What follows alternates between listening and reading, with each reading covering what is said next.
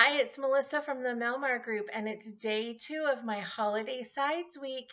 So if you want to know what the day two recipe is, stay tuned.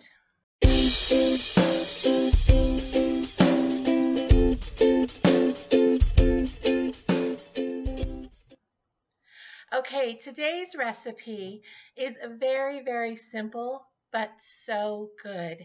And you only need three ingredients. It's sweet baby carrots. And let me show you how I make them. The final two ingredients just to make them just even more delicious. So let me show you. Okay, for this recipe, you're going to need three ingredients. You need your carrots, you need some brown sugar, and you need your butter. First, you're going to put your carrots in a pot and you're going to boil them until they're soft.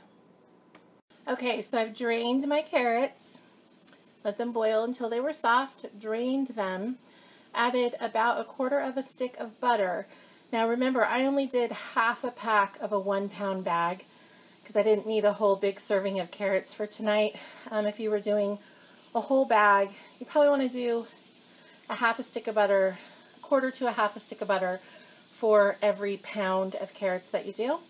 So you let the butter melt and a little bit of brown sugar, like two to three uh, tablespoons of brown sugar. You just stir this together and let the sugar and the butter work together.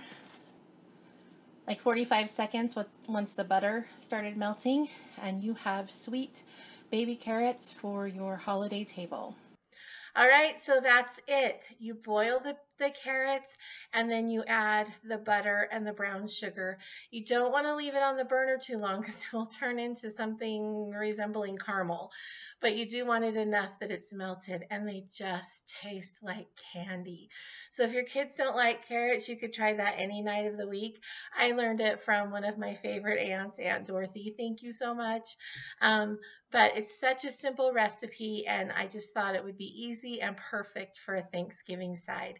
So if you like these videos, please like, subscribe, and comment below. Stay tuned for day three where I have another exciting and easy recipe that will make you a rock star for the holidays. Until next time, make it a great day. Bye.